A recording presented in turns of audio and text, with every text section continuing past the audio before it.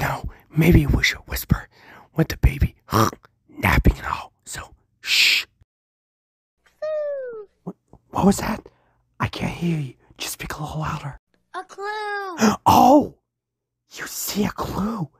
Where? Oh, there it is. And it's on these carrots. Carrots must be our second clue. You know what we need now? Our handy dandy Notebook.